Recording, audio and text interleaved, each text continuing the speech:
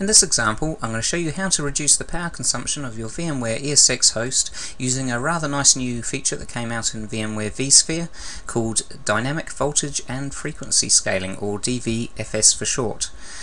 Now, you can see in my example here, I'm running a HP ProLiant ML110G5 with an Intel Xeon CPU on board. This is the uh, dual-core model I have here.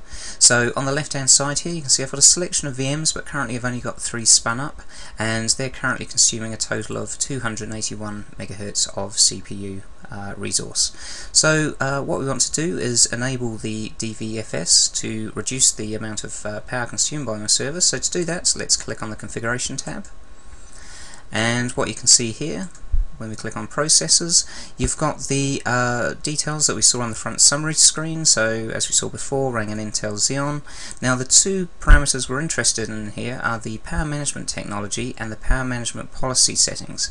Uh, the power management technology settings see here uh, says enhance Intel SpeedStep which means that the ESX host has picked up that the underlying uh, server CPU has got the uh, enhanced uh, Intel SpeedStep um, power saving technology on board and it's enabled. Now this is something to look out for because some servers when you get them by default this uh, power saving technology is turned off in the BIOS so all you have to do is boot the server, go into the BIOS and enable it there.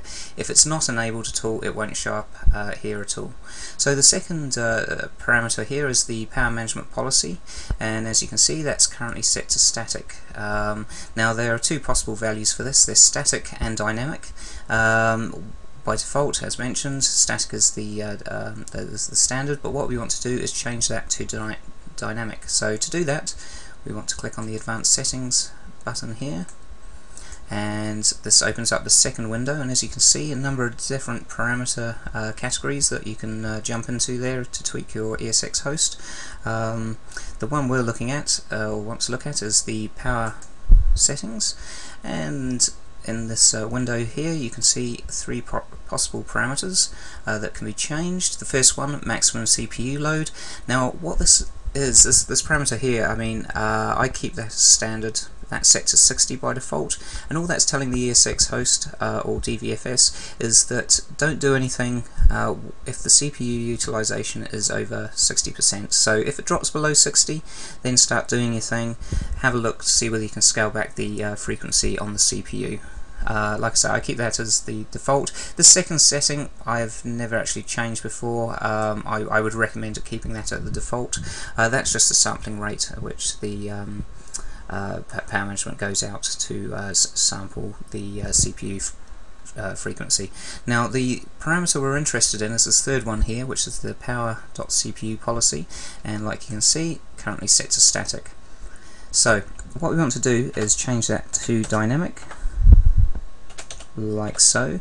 Now the good thing with this, uh, these settings here, you don't need to reboot your ESX host for them to take effect at all. As soon as you click the OK button there, there's a couple of seconds whilst it uh, uh, does its thing, and then the um, new um, parameters take hold. Now let's have a look to see what the uh, the ESX host is currently consuming. Like you can see, it's uh, currently consuming around about 79-80 watts of power. So let's click the OK button here. Okay, you see a, a temporary spike whilst it uh, goes up and does its thing. Now, yep, as you can see, the amount of power uh, now being drawn by the server has now dropped to 73, 74 watts of power. So that's a saving of 5 to 6 watts uh, in total.